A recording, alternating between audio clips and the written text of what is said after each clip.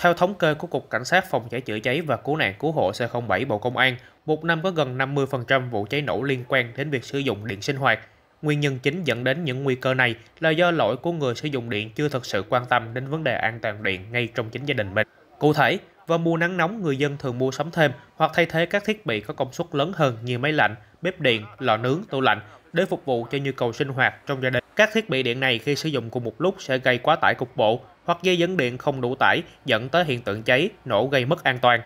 Bên cạnh đó, người dân sử dụng thiết bị điện kém chất lượng không rõ nguồn gốc, xuất xứ hoặc không phù hợp công suất lắp đặt cũng sẽ dẫn tới tình trạng cháy nổ. Khi ra khỏi nhà, người dân thường quên không tắt hoặc ngắt nguồn các thiết bị điện. Khi xảy ra sự cố, các thiết bị này dễ bị cháy, nổ gây mất an toàn. Nhất vào những mùa khô, mùa cao điểm này ấy, thì chúng ta là phải sản xuất làm sao cho nó hợp lý.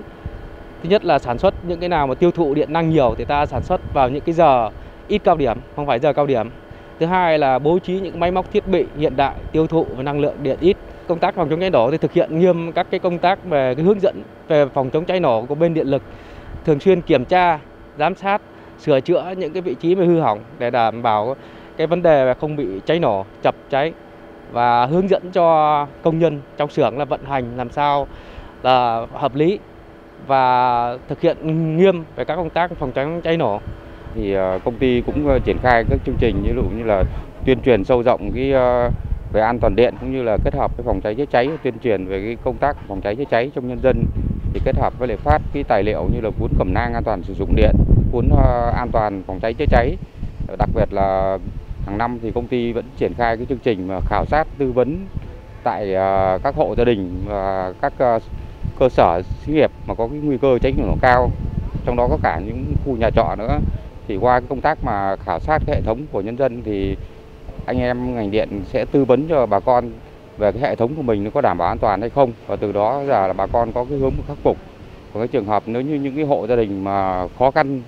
mà những cái gia đình chính sách á, thì ngành điện sẽ hỗ trợ kết hợp với cùng với đoàn thanh niên để ờ, thực hiện cái chương trình mà ờ, đồng hành cùng ờ, bạn để à, sửa chữa khắc phục cho bà con Tổng công ty Điện lực Thành phố Hồ Chí Minh cũng tuyên truyền người dân thường xuyên kiểm tra hệ thống điện trong gia đình, đặc biệt là trong mùa nắng nóng. Đồng thời, lưu ý cân đối nguồn điện của dây dẫn phù hợp với công suất của các thiết bị điện trong gia đình, tránh cắm nhiều thiết bị trên cùng một ổ cắm thông qua một dây dẫn nối. Đối với các thiết bị có công suất lớn được lắp đặt thêm như máy lạnh, máy nước nóng, nên được kiểm tra khả năng chịu tải của đường dây dẫn điện để tránh xảy ra hiện tượng quá tải hệ thống dẫn. Người dân nên lắp CB chống quá tải, chống giật cho toàn bộ ngôi nhà phòng trọ nhằm tự động phát hiện và ngắt điện khi quá tải, rò điện. Ờ, hiện tại thì Tổng công ty Điện lực Thành phố Hồ Chí Minh đã triển khai đồng bộ rất nhiều giải pháp để đảm bảo cung cấp điện mùa khô ờ, năm 2022 cho thành phố. Và với cái mức độ dự phòng lấy điện hiện nay khoảng 41% thì ờ, Tổng công ty Điện lực Thành phố Hồ Chí Minh cam kết sẽ đảm bảo điện đầy đủ cho mùa khô.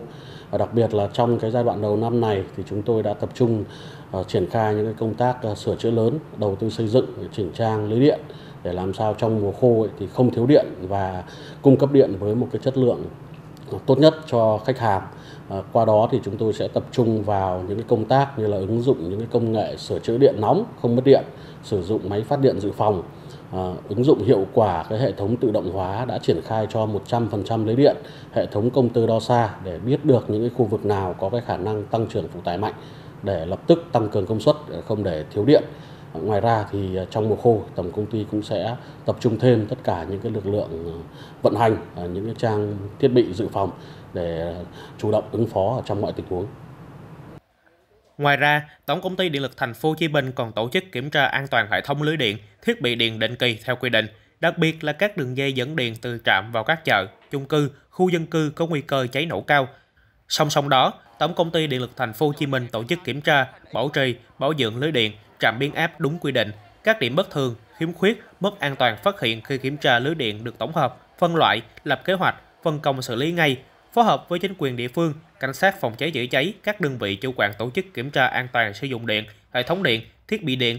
phòng cháy chữa cháy tại các cơ sở sản xuất, chợ, chung cư, đồng thời đề xuất xử lý các trường hợp sử dụng điện không an toàn, có nguy cơ cháy nổ. Bạn có video hấp dẫn bạn bắt gặp được những khoảnh khắc độc đáo. Hãy gửi về plo a vòng pháp luật tb.vn để nhận ngay quà tặng và nhuận bút hấp dẫn.